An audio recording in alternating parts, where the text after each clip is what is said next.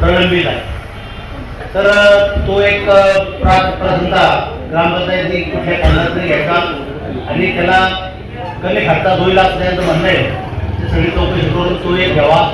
त्यानंतर तो दुसरा प्रश्न जे आपलं हे पाणी सांडपाणीचं त्याच्यावरती दिलेजीने प्रश्न मांडला. की आपण त्याच्यावर प्रक्रिया करून किशोरसाठी प्रश्न मांडला. आणि त्याच्यावर प्रक्रिया करून ते शिल्लं वापरण्यासाठी द्यावं हा एक प्रश्नाचं आपण गांभीर्याने विचार करावा. त्याचप्रमाणे किशोरसाठी तो दुसरा पण प्रश्न मांडला त्यांचा वैयक्तिक. का त्यांच्यावर सुद्धा बिबट्या प्रवसन क्षेत्र असल्यामुळं रिक्वेस्ट त्यांच्यावर सुद्धा हल्ला होता होता वाचला. खरं तर मी फिफ्टी वर्षे माऊलीच्या या महिमांनी गणपतीच्या कार्य तुमच्या हिरो कारण तुला साथ देते त्याच्यामुळे तुम्ही वाचला त्याला ते आमची गाडी असती नवी असती तरी ती काही होत नाही ना. तर तुमच्या यामध्ये रोडवर बरोबर म्हणजे डोक्टर विषय आहे तर त्यांनी तळतळणी हा विषय मांडलेला आहे तो एक आपण घ्यावा आणि बिजू सर माझं म्हणणं आहे सगळ्या तुम्ही सगळे तरुण आम्ही पण चंदू पाटील विलास शेठ गुंजाळ सर आणि सर्वजण मंडळी काल काळू सर सर्व मंडळी आपण काम परीक्षा मंडळी केलेली काम लोकांनी मांडत असतात. आपण ती करायचा प्रयत्न करत असतो. होतो नाही होतो थोडंफार माग कुठं जरी झालं तरी चालत फक्त शांततेमध्ये घेत जा सर्वांनी. आणि आज मी या जे उभं राहायला उभं उभं राहायला उठलोय याचं कारण खरं म्हणजे आपल्या तालुक्याचं जे देवस्थान म्हणजे आळा संतवाडी कोळस्थानचं जे ग्रामदैवत आहे ज्ञानेश्वर महाराज मंदिर रेडा समाधी. तर आता त्या ठिकाणी विविध फंडामधनं बघ बंद झाल्यामुळं आपले सर्व साईटचे म्हणजे साईटची कामं फंडामधनं याच्या बंद वर्गामधनं फंडामधनं तीर्थक्षेत्राच्या दर्जातनं चालू आहे. पण जो आपण सभा मंडप बांधण्याचा जो हत्ती घेतलेला आहे.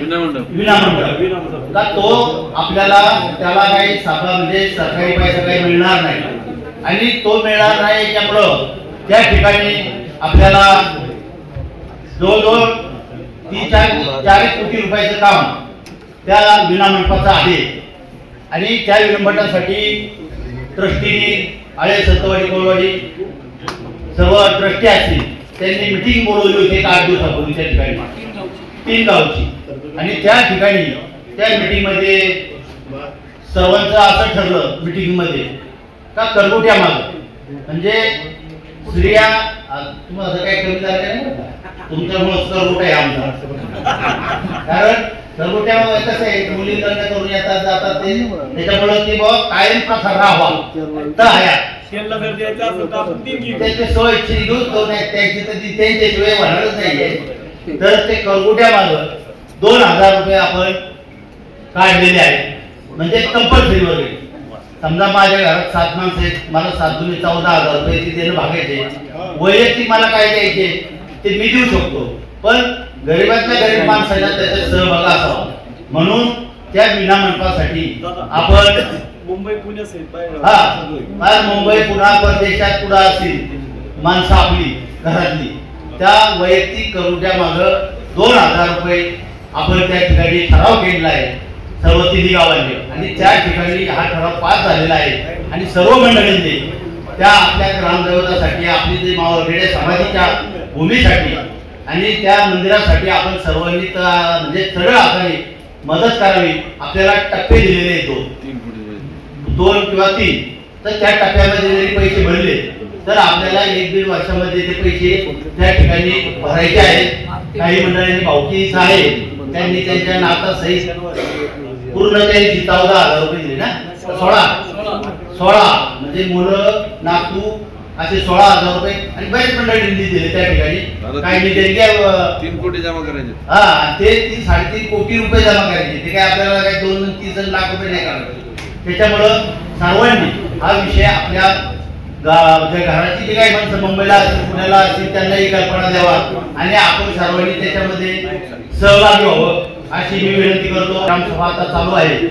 त्या ग्रामसभेला खऱ्या अर्थानं वंदरे भाऊसाहेब तुम्ही बरेच वर्ष या ठिकाणी आहे आपले भुजबळ साहेब सुद्धा आरोग्य केंद्राचे या ठिकाणी अभंग साहेब कृषी अधिकारी आले होते पोलीस डिपार्टमेंटचे मंडळी आली होते. त्यांचे या ठिकाणी म्हणजे एक ह्या मंडळींना सांगू इच्छितो की आपल्याला ज्या वेळेस ग्राम सभा असेल त्या त्यावेळेस आपलं संपूर्ण रेकॉर्ड आपण ह्या ठिकाणी आणत चालू.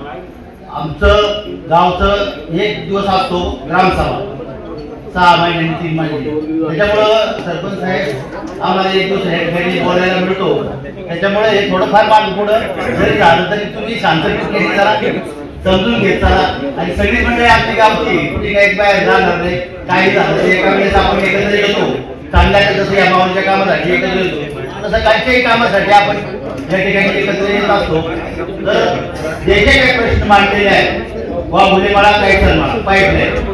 हे प्रश्न आणि आता तुम्ही जो प्रश्न मांडला निलेशने मांडला रामदास शेट्टी मांडला ते प्रश्न आपण तातडीने सोडवा.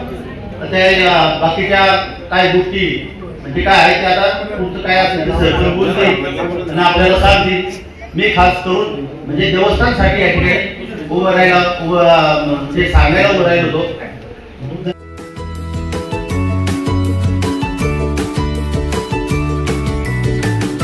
बातम्या शेतीच्या.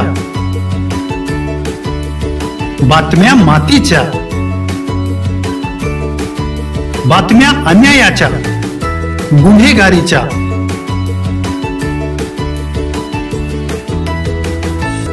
राजकारणाच्या आणि समाजकारणाच्या.